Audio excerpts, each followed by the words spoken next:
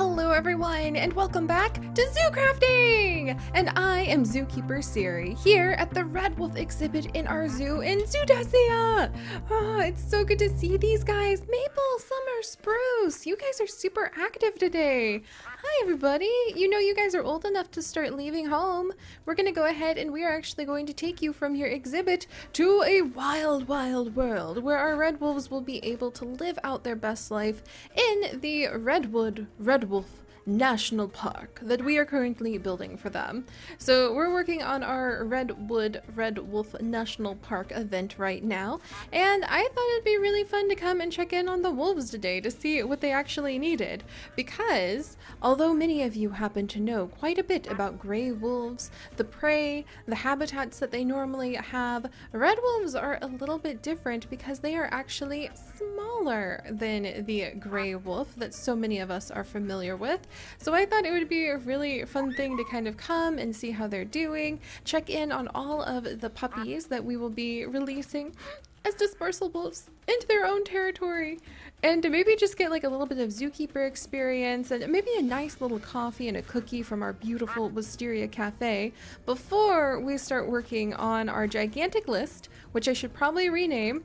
I love how I just continue to have like these endless projects and I just write like, you know, page after page. Do you guys do that with your to-do notes? Because I know I always do that with my to-do notes. I'll do as much as I can and then the next thing you know, I'm going, when did I clean corruption? I don't remember when, oh, that was in my basement when I kind of had that portal to the nether in my basement.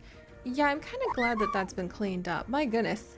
It has been very, very busy. Uh, oh my gosh, yeah, I do have a, quite a bit going on actually. Holy cow. Well, all of that's gonna have to wait, and so is all of this, and so is all of this, and here we are! So this is the to-do list for gathering things while we're back here at the zoo. Oh, thank you! Thank you very, very much, Summer, for reminding me that one of the important things is to scoop the poop of the exhibits. That is kind of hilarious. But yes, so we're gonna be. Oh, I'm just standing here with some poop in my hand. Mm -hmm. That's when you know that you're back to being a zookeeper. But we are going to be popping over to the wild area and really rebuilding the archaeology, the archaeology mm, abandoned. What do you call that place? Like archaeology building? Archaeology Research Center. There we go that has been abandoned. But yeah, I just, I, you know, I realized a lot of you guys probably don't know all of our red wolves. And now that uh, their mama is actually expecting another litter and she doesn't really want, want like red wolf pups this old with their first litter around, we should go ahead and introduce ourselves. Oh, thank you, Maple. It wouldn't be a day at the zoo without scooping poop, I'm telling ya. All right, let's go ahead and head on in.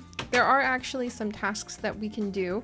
Ah, it's been a while since I've rolled up my sleeves as a zookeeper at the zoo, actually. But there are some tasks we can do to take care of everybody. Oh, Spruce! Hey! He's climbing up around the waterfall. That's pretty good. Maple, how you doing? Thankfully, these red wolves will uh, hopefully adapt without humans around. They are a little bit too used to our presence, but I'm sure they will- hello Spruce. I'm sure they will regain their wildness with no trouble. And this is actually one of the entrances to their den. So they have multiple den entrances. Let's just sneak down in here. We gave them a little window to look at the water because I thought that that would be quite scenic. It's very lovely, very lovely. Ooh, we could put a mushroom here. Do I have a mushroom in my pockets? I do not. I actually like cleaned my pockets out so that we'll be ready to stuff them full of things to work on our wild park. And there we go. There's Meadow. Hey girl. I'm so excited to hear your...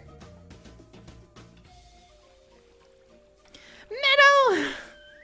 what? Why do I have two meadows? Redwood! How did you end up with two mates? And they're identical. Okay.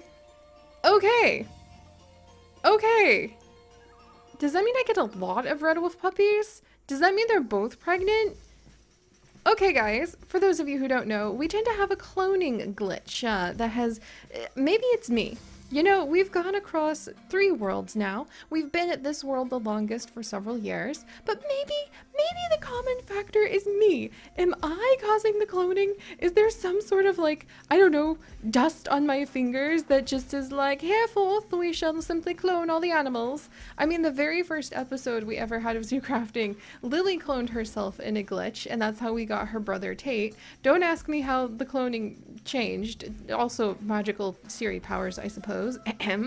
but then the puppies cloned themselves as we discussed on our International Dog Day last week, and now we have another cloning event. There's just cloning everywhere all the time in the zoo. I mean, I guess that's a good thing. Somebody should hand me a panda. Maybe if I snuggle a panda, we'll just have an endless like panda cloning line, which I guess actually wouldn't help the genetic diversity of pandas, but still.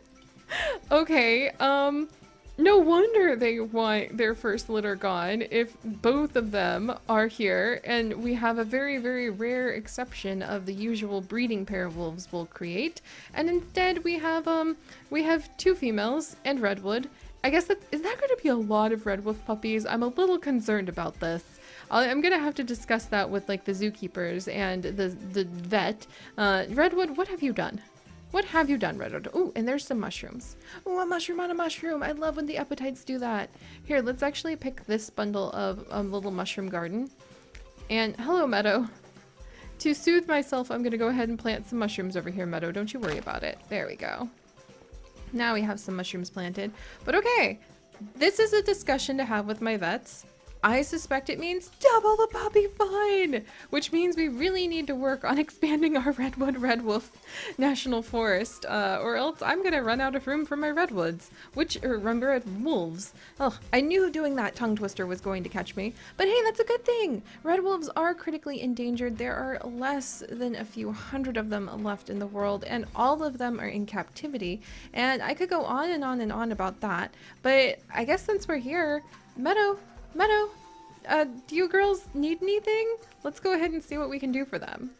So for our red wolves, the ways that we can take care of them when we are being zookeepers is we can go ahead and give them a raw rabbit, raw chicken.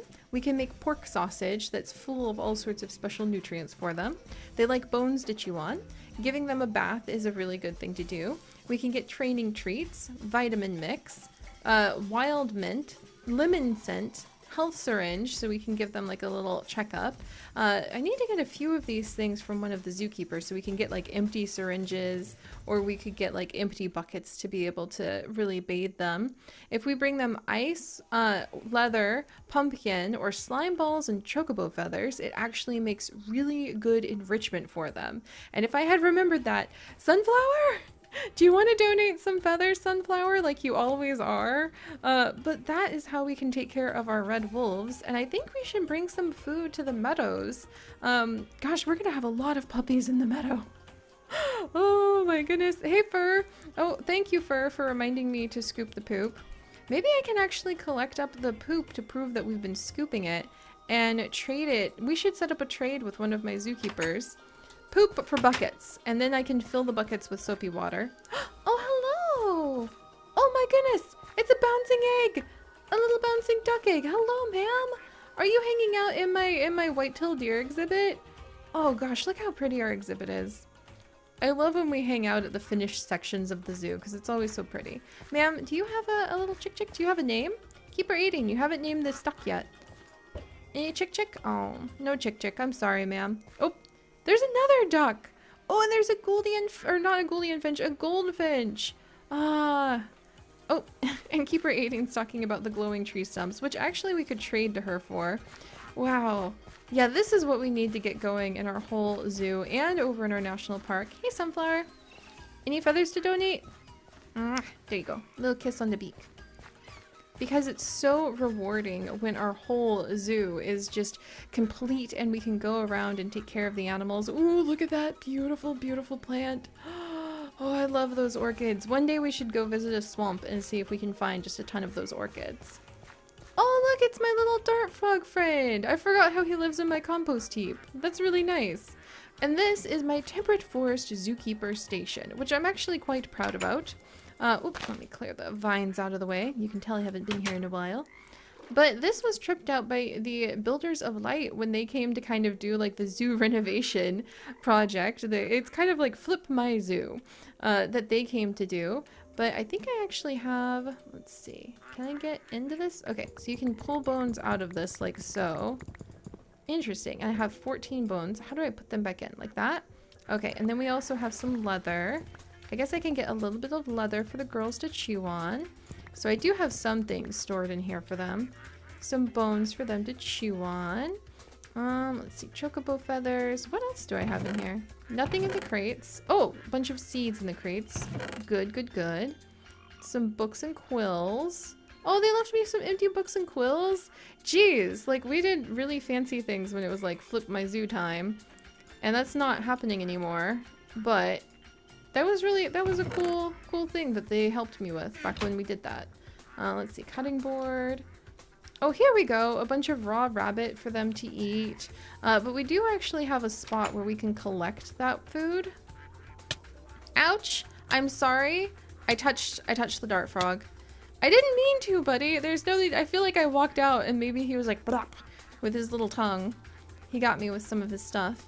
But we do have a little spot over here, a little wild spot, that we allow the, the passage of, of time and we allow the cycle of life to happen. And we can collect some meat from here. A little animal trap. it is it is a little sad, but it is also important because we do have carnivores in this zoo. I am beginning to think we should probably relocate our animal traps. I think I only have one over here now. Little duck, be careful! Do you want to go in the exhibit? Actually, you can go live with our, our deer if you want. That's kind of adorable. There you go. I, I like, don't regret your choice now. I'm sure you'll be very happy there. Oh, I forgot how I really blocked this area off. Wow. Good job, Seri. I forgot when we redid that. Uh, oh, and this animal trap is empty, so we might want to fill that up. Because it is important to make sure that our red wolves have plenty, and spices are one of the ways we can help them out. Have plenty of food. Do I have some shears somewhere? I do. And this is how we feed our red wolves.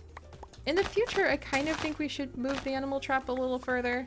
Like, into the, maybe the wilderness, even? I don't want to take from, like, a national park, but I don't know. We'll think about that. Maybe we can, we can pretend the zookeepers kind of help deliver things there. But alright, let's see. Let's make some more animal bait really quickly. As sad as that is, I know it's very sad. Very, very, very sad.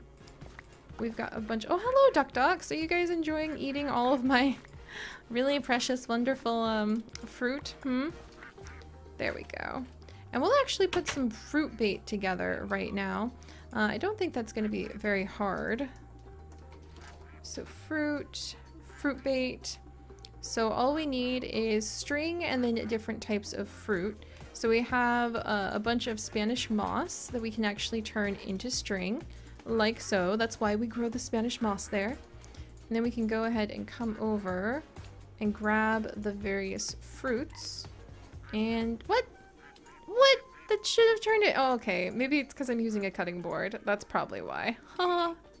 oh, where do I not have just a normal? There we go. Little crafting table over here. Crafting station, crafting station. Let's go ahead. Fruit bait. There we go. And we'll just make a bunch of it really quickly. There. All right. And wait, uh, can I get fruit bait from spice leaves? I don't think I can.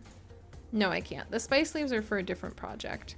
They're actually so that you can make the pork. Can I make that really quickly? The pork sausage for the girls. Salt. And let's see. So we would need the raw pork. We'd need a cutting board.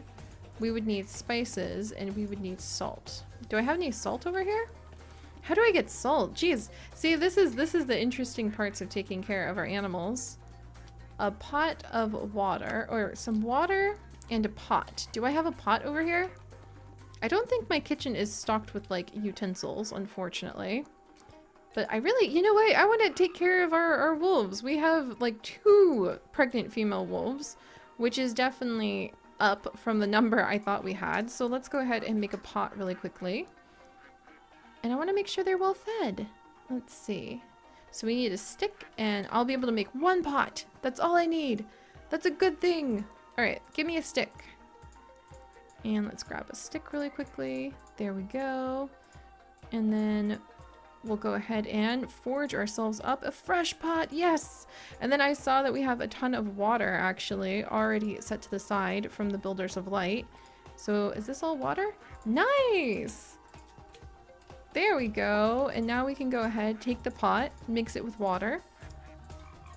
Wonderful. Look at that. And we've got what we need. Okay, wash the pot off in the sink. And I guess I kind of like shelves so I can see things versus these cabinets. Uh, so we might replace these cabinets with shelves because that would make it a lot easier to see. Can I cook on this? Whoa, you can cook on the oven. I didn't know that. All right, now to the cutting board. We have the raw pork chops. We have the salt. We have the spice leaves. Hmm. Do we need to put the cutting board in a different arrangement? Let's see. And pork for our red wolves. We're gonna make cutting board. Does it need to be? Oh, it needs to be a cooked pork chop. Not a raw pork chop. Oh, this is so fun. It has been so long since I've been in here. I'm just dashing about in circles. We do have some of the rubber right over here. And this raw rubber can actually be used to fuel things. It goes through really quickly though. Yeah, I'm gonna need more, more rubber. That's why the rubber trees are so useful. Look at that, we can just stick the whole stack in here. The rubber trees make for a really great renewable resource of energy, but they do go through that energy very quickly. Hmm, maybe I should plant a rubber tree exhibit and kind of like highlight that. All right, is this gonna be good? Do I need to arrange it? Okay, maybe the cutting board needs to be like in my hands. Is that gonna help me with the pork sausage? All right, I definitely saw cooked pork chop. Okay, maybe I need to hold the cutting board. Let's try that. All right, cutting board, cooked pork chop, salt, spice leaf. Da-da! I needed to be holding it, but we did it. Okay, do we? Oh, nope, I just threw everything on the ground. I think we can make two more because I, I have two more things of salt. So the girls are gonna definitely have, we'll, we'll definitely imagine, you know, of course, uh, pardon me, and like, da -da -da just filling this up with uh, vitamins and things from, uh, from here, of course, of course. Absolutely not just feeding my wolves random things just because it sounds fun. Uh, we're definitely filling up these little pork sausages with very important vitamins for our pregnant wolves. That is the way we do things around here. There we go.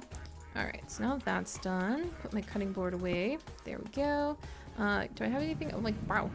Let's stick the raw mutton, the egg, um, the blackberry, actually. I do kind of like having a fridge. I don't use fridges very often. Maybe I should change that. Uh, oh, and the string can actually go away. I forgot we had string here. Geez, actually having people who, like, organize things sort of throws me off. And the spice leaves, they're beautiful leaves. They can decorate the corner. All right, that seems pretty good. I feel I feel pretty happy now. We helped a duck get into our exhibit. I got to visit with uh, some of the places uh, that the red wolves are from. Hello, sir. Are you are you seeing the red wolves? Oh, and that's actually one of the things I was going to say. The ducks would want to be careful because although you guys might think that the red wolves would have the same diet as the gray wolves and eat big things like buffalo or like um like chasing down the elk, Actually, red wolves, because they are so much smaller and they live in a different habitat with different prey items, tend to eat smaller prey. So they are not really usually even going after deer, though that happens on occasion. They're going after things like raccoons, rabbits especially. They really eat smaller, smaller prey items. They're not like chasing down the big elk the way that you see with the gray wolves hunting. All right, and here are our pregnant wolves. I can't believe we have two of them now. Let's go ahead and get some zookeeper experience by giving Meadow number one her pork sausage filled with vitamins and lots of hearty raw chicken so that she has some good food to eat. We even have like three lovely leathers that she can chew on. We have some bones that she can chew on. Uh, and then let's go ahead and take care of Meadow number two, who also gets that pork sausage. And then we'll go ahead and let her chew on some leather too as an enrichment item and some bones and some chicken. Huzzah! So they have been taken care of. Oh, that's so fun. Let's see if we can find all of their pups real quick. Redwood is the mate, the male. Red Meadow is the female of our breeding a pair of red wolves. Redwood is the male. Then we have one for fur, which is one of their pups. Two, three, summer maple. And then we have, I think, three more wolves who are a little bit more reclusive. We saw spruce a bit ago, so that was four. All right. So spruce, this place has gotten a little bit overgrown. I need to come in and clear some things out. Spruce, summer maple, I think he was in the den. Maybe we had four? Meadow. Yeah, we have six red wolves. They're just a little tricky to find sometimes. Oh, oh, oh, that's why. All right, there's spruce, so that's four. And I'm sure if I look up in the trees, I may even find... Let's come over here, yeah. Can I see the others? Hmm. You know, we really probably should kind of ease up some of the tree cover. Hello, meadow number two, or one, whoever you are. We should probably ease up some of the tree cover so that we can see our red wolves a little easier just to make sure they're all okay. But, I mean, we've got kind of a clone right now and more puppies on the way, so I'm sure it will be fine. Also, that's so cute. Look at those flowers that you can see from this. Oh, what a great observatory looking over the red wolves. But all right, so guys, we have taken care of the red wolves. Oh, let's wrap up the last couple things we have to do. Let's trade to Keeper Adelaide, since we are here, some of the shiny logs for the Zookeeper points that we just earned. And that's actually going to really help us when it comes to lighting up the park. And I wish I had a moment to help you, Keeper Adelaide, but we have some work to do for our wolves over in a whole nother section of the world. And then finally, let's put the fruit bait away. And that will actually help. Let's wiggle this way. That will actually help catch more prey items for our zoo animals in the future. Phew, but okay. Thank you guys so much for joining me. If you could, do please leave a like for the future Red Wolf puppies that we are going to be having. And then next time we are going to hop on to Sunflower, head back over to the house, stuff our pockets full of building material, and get ready to really work on expanding the Redwood Red Wolf National Park so that we can expand this wonderful little family. If you'd like to join us on that adventure, do please consider subscribing. But most importantly, my friends, stay curious. And I'll see you next time. Bye-bye!